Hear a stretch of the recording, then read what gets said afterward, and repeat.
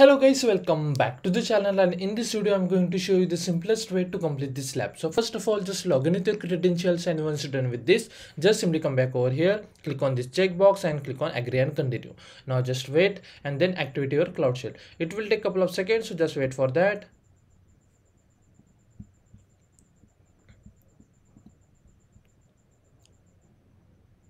Now just simply click on continue. Now in description box i will share one github link. So just open that link and then you are able to access this document. Now what you have to do over here just click on this copy icon. Just click on this and it will copy all these commands. Okay just copy that. Just paste over here and hit enter. Just click on authorize. Now just wait for this command get execute and once it's done you are done with the task number one and task number two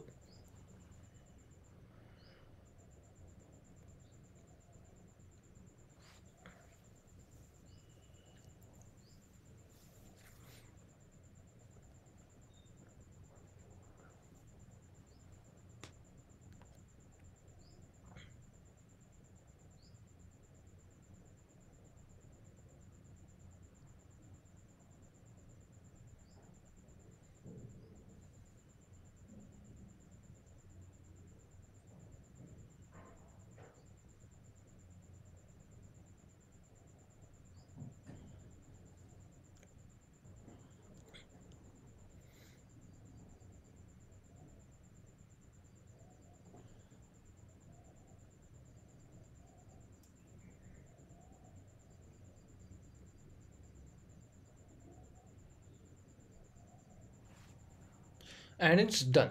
Now once you're done with this command do not immediately click on the check my progress for this two tasks because lab take time to update a score. Now what you can do just simply come on the task number five over here. Now what you have to do just simply scroll down copy this error rate just copy that. Now what you have to do just simply search for monitoring open this thing in new tab come back over here then click on this alerting like this.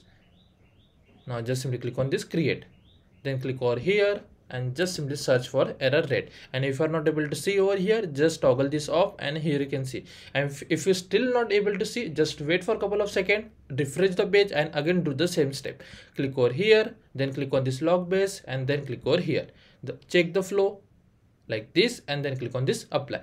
Now here you can see rolling window function. From here you have to choose rate like this. Now just simply click on this next and here you can see threshold value just type 0.5 like this then click on this next. Just toggle this off like this. Now just scroll down. Now for the name just scroll down and here you can see point number 11 just copy this name. Do not copy any extra space. Just copy the name carefully. Paste over here like this then click on this next and then click on create. Just wait for a second and it's done. Now if you just scroll down and click on this check my progress you will get a score without any issue. Now you if you check the score for the remaining tasks you will get a score without any issue. And as you can see we got a score. And that's the way we had to complete this lab. If you still have any doubts please let me know in the comment section. Thanks for watching and have a good day guys